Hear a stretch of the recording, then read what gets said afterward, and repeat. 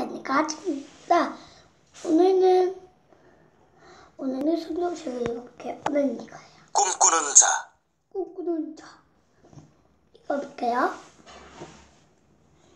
야곱에게는 12명의 아들이 있었어요. 야곱은 그 중에서 요셉을 가장 사랑했지요. 야곱은 요셉에게만 색동 저고리를 입혀주었어요. 형들은 요셉을 질투하고 미워했어요. 아, 어떤 말인가요? 야곱에게는 12만의 아들이 있었어요. 야곱은 그 중에 요셉과 사랑했지요. 야곱은 요셉에게 많은 색동 저고리를 입혀주었어요. 형들은 요셉을 질투하고 미워했어요. 어느 날 요셉이 특별한 꿈을 꾸었어요. 우리가 밀단을 묶고 있었는데 형들의 밀단이 내 밀단에게 절을 했어. 이 말을 듣고 요셉의 형들은 그를 더욱 미워하게 되었어요.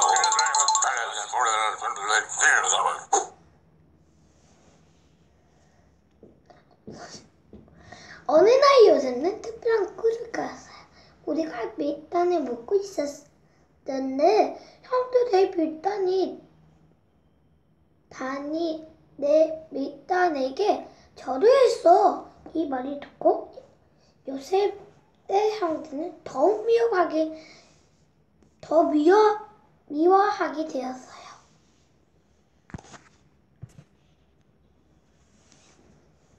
요셉이 또 다른 꿈을 꾸었어요. 해와 달과 열한 개의 별이 나에게 절을 했어요. 그러자 아버지와 형들이 꾸짖었어요. 지금 네가 우리를 다스릴 것이라고 말하는 것이냐?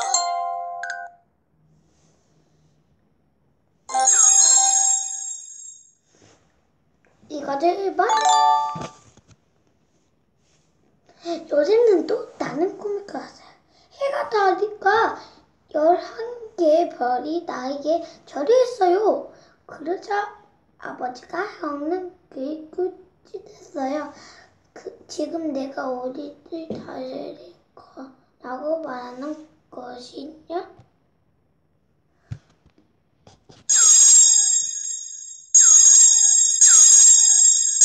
언제까지 날아가죠?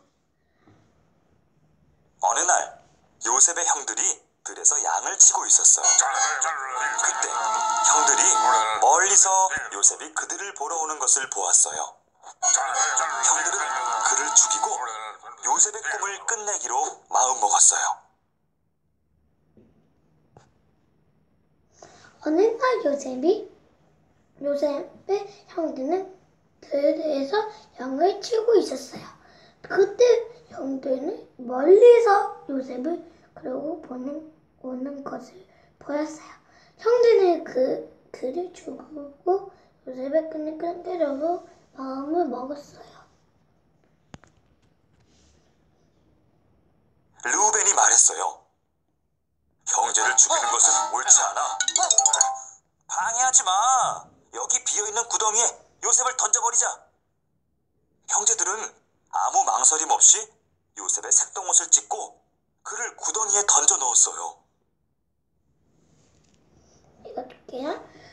모우맨이 말했어요. 형제를 죽이는 거는 옳지 않아. 방해하지 마. 여기 비어 있는 구덩에 요셉을 덤벼버리다. 형들은 아무 말썽이 없- 없이 요셉을 구덩이에 찌고 그를 구멍 위에 던져 놨어요.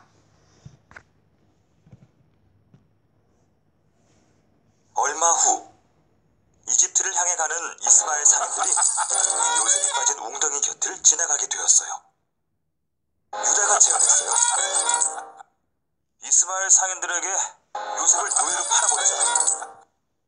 형제들은 은화 20개에 요셉을 팔았어요.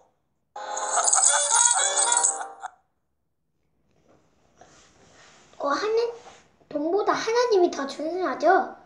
얼마 후 이집트는 한 해 가는 이스라엘 상이 들을 요셉을 빠진 동안의 것이 되었어요. 유다가 제안했어요. 이스마엘 상인들에게 요셉을 노예로 팔아버리자 형제는 느와 스무 개의 요셉을 팔았어요. 이렇게요. 요셉의 형들은 그를 죽이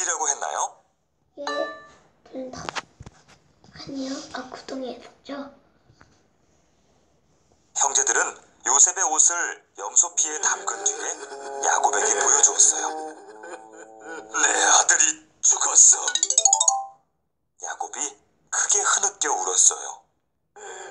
한편 요셉은 이집트로 보내졌어요. 하지만 하나님께서는 여전히 요셉과 함께 하셨지요.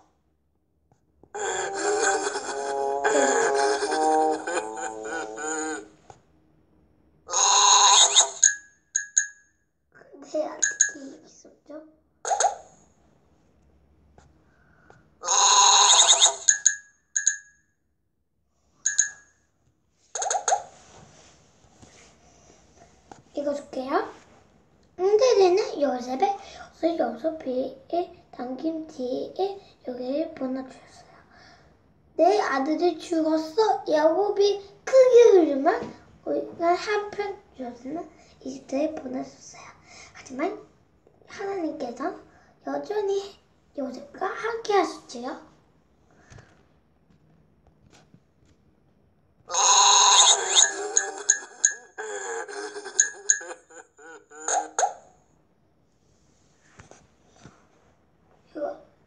이스마엘 상인들이 이집트에서 요셉을 바로의 경호대장 보디발에게 팔았어요. 하나님은 그곳에서 요셉을 축복하셨고 요셉은 보디발의 온 집안일을 돌보는 사람이 되었어요.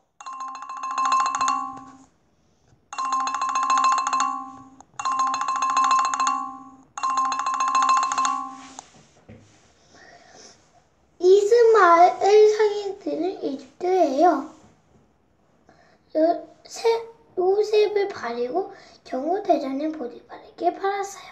하나님은 그곳에서 요셉을 축복하시고 요셉을 보디발의 온 집일을 돌보는 사람이 되었어요.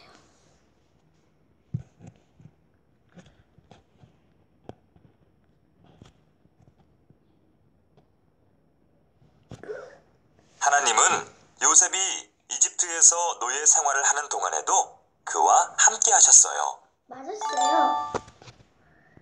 오늘은 아, 활동해야죠. 시작해요.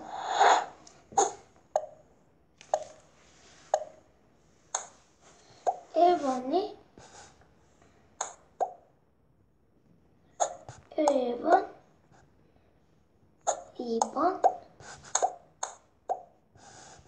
아니죠 순서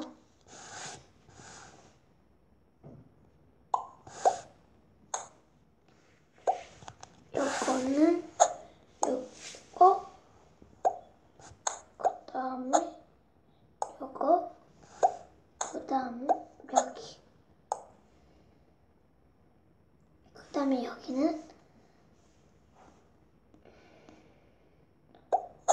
일단 넣고 이집트를 팔았죠 그 다음에 연수피를 했죠. 요셉의 옷을. 그 다음에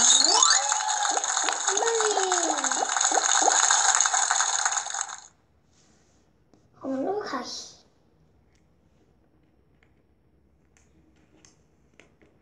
꿈꾸는 자.